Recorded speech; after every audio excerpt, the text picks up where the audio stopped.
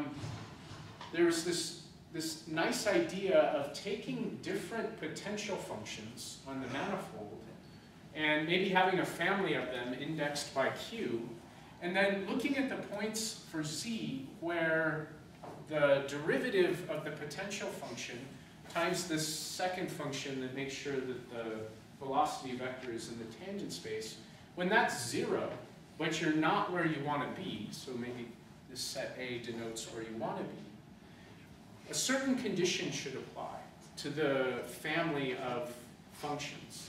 Actually, this, uh, this subscript q and this writing it there is the same function, so I guess I should have written it with a subscript everywhere. But basically, Chris said, look, if you had a family of potentials with the property that when this is zero and you're not where you want to be, this quantity is positive, you can build a hybrid feedback to stabilize. And what this quantity being positive just means is that you can find a different value for the logic variable q. So q is going to live in a finite index set. You can find a different value of q to make the energy smaller than it is right now. So that's what this quantity being positive means, so that you can find a different choice for q to make the v smaller than it is right now. Chris called this the synergy gap. And just to give you an example, if you're trying to do something on a circle, here's the system, this z1, z2 makes sure that you live on the circle, and the v is just the angular velocity. And then you go back up into that system and say, well, but I'm actually controlling um, not angular velocity, but angular acceleration. Here are two functions, v, that make up a synergistic potential pair where, so think of theta as like the angle on the circle ranging from 0 to 2 pi. So we've got this function that matches up at the endpoints. And we make the potentials have their maximum at two different points. And where the maximum occurs, that's where the derivative is going to be 0. And what we have is that at each one of those points, the other potential function is much smaller than the current potential that we're on. And what that enables you to do is basically say that when you get close to being stuck at a point where you wouldn't be decreasing the potential, you could actually switch to the other potential and follow that potential to where you're wanting to go, which is the zero point or the two pi point. So this would actually naturally create a hysteresis mechanism where if you started off in, in one particular potential, so set to a certain logic variable, um, let's say you started off here, as long as you're far enough away from that peak, you would head down this way or you would head off this way. But if you found yourself close to the peak, you would actually say, well, it's beneficial for me to switch to the other potential and then follow that potential down to where I'm going. And so it introduces in a very natural, energy-based way, a hysteresis mechanism. Can I ask a question? Yeah. So in that case, you have two examples, uh, two possible paths to follow. What if you, if you have multiple ones? Are you uh, worried that you can pick the best one, or are you just picking one which is better? You just pick any one that's better. It's fine. Yeah. And so I should mention, so here this is illustrating it for a circle. Chris has worked out these synergistic potentials on all of these manifolds that I've indicated there, which, uh, which makes this idea quite, quite useful. Um, without going into too much detail, from the assumption, it's very easy to write down the control law.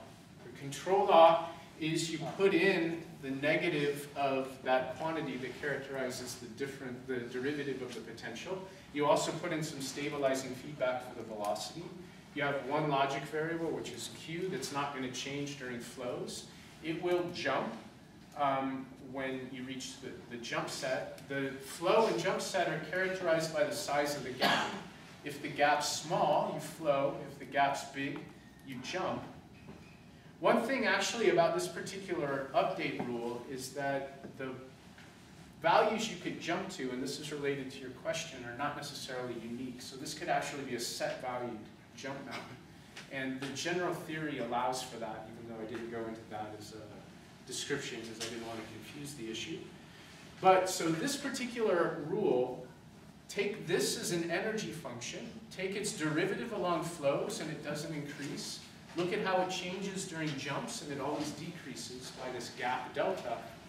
And then you can apply this invariance principle that I alluded to before to prove that you never get stuck flowing at uh, any, any non-zero condition. You're guaranteed that you'll converge down to where the v's are zero, and then you can't get stuck at v is equal to zero because there's going to be this driving term in the v dot equation, and the only place where that driving um, term can be zero is if you're actually supposed to be jumping rather than flowing because of the assumption about the gap. So anyway, it's hard to describe this in great detail at a level of a seminar like this, but um, I think it's a very powerful concept and one that uh, extends to many interesting systems, um, whether it be satellite pointing, uh, you can use this idea to control a 3D pendulum or a pendulum on a cart. And in addition, you, you buy all of these robustness corollaries that I alluded to earlier that you can implement this, this idea with PWM or with fast actuators. It's going to be robust to small measurement noise. It's going to be robust to slowly varying parameters. All the things that we know about for differential equations are going to apply for hybrid systems as well. So just to wrap things up, hopefully I've captured your attention in terms of the intrigue of hybrid systems. They appear in nature, they appear in engineering, they come up due to control algorithms. They, they are a combination of continuous time and discrete time systems, both continuous variables and, and uh, discrete value variables. We've been able to um, um, push to the hybrid world many of the analysis tools that we rely on for differential equations when we devise um, classical nonlinear control algorithms. And hybrid feedback can solve problems that cannot be solved with classical feedback. Um, most significantly, problems where topological constraints would automatically rule out robust feedback um, that achieves certain objectives globally. Um, those problems can be solved with hybrid feedback. Well, thank you very much for your attention, and there may be time for questions. Questions? One thing, when you give the general theorem, uh, talk about the convergence was a graphic, the graphical convergence. Yeah. What's the difference to graphical convergence, just having a, a neat- a neighborhood, and you want to get points to be in a have to convergence. Right, so what's the difference in the general and usual convergence? Convergence So- series and series, and convergence to an interval. Now, an interval, what is, so, yeah, if you could explain that, what is this convergence, what's the difference between So the notion of, so the, the convergence that's talked about here is a type of set convergence. So instead of looking at a sequence of, say, vectors and figuring out whether that sequence of vectors converges to a certain vector, you're talking about a sequence of sets and whether that sequence of sets converges to a well, it's going to converge to a set under very mild properties like it isn't a set where all the points go unbounded. And the question is whether the set that it converge to, converges to is actually the graph of a solution to the original system.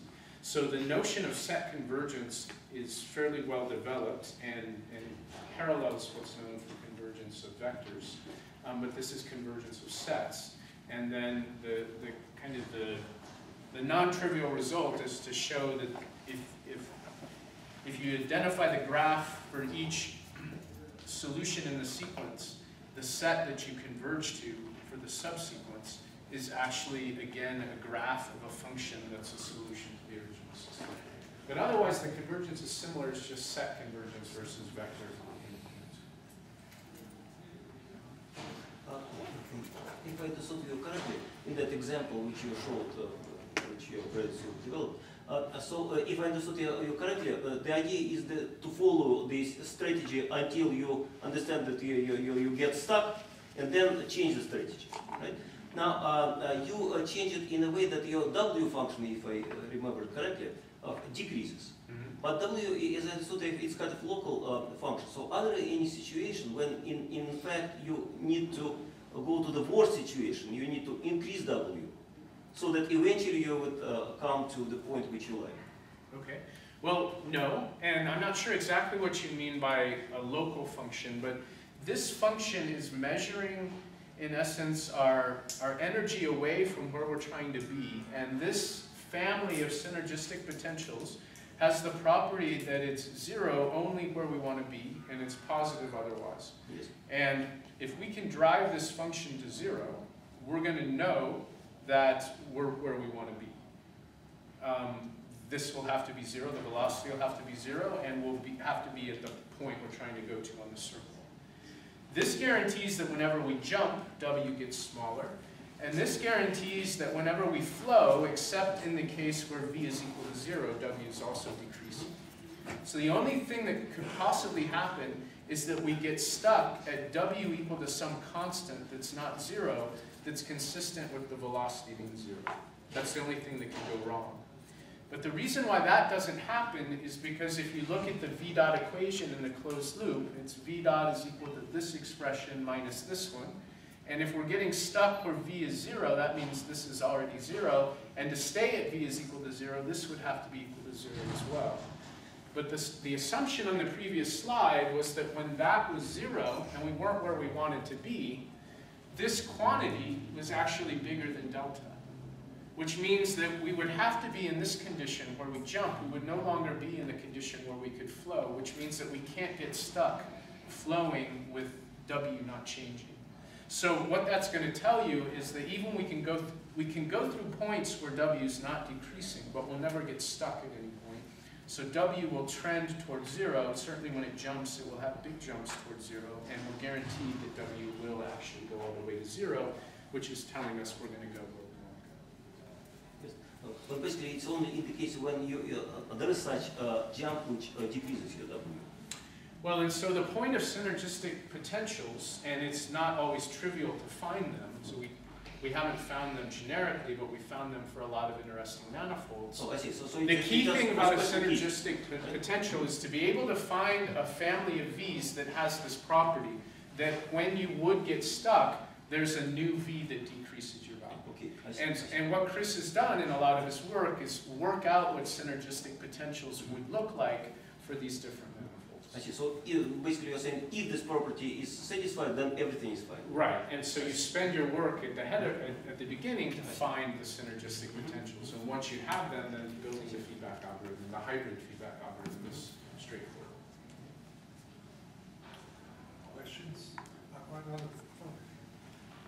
In, in financial engineering, it happens often that you have continuous and discontinuous situation. Have you come across any problems in some, like tracing derivatives? It's a diffusion equation, and then you have jumps because of the deviance and so. I thought, is, do you know any? Um, Yeah, so I haven't studied that area, but, um, but I, yeah, I think there's a big body of literature on that. There's, there's a whole body of literature on stochastic hybrid systems that, uh, I think also comes into play there. Um, most of the time though, again, some of the issues that I've camped out on don't show up in that body of literature for whatever reasons. Maybe those properties aren't that important in those settings, um, but they turn out to be very important uh, for what we do. And, and I've started to look at stochastic hybrid systems to see the degree to which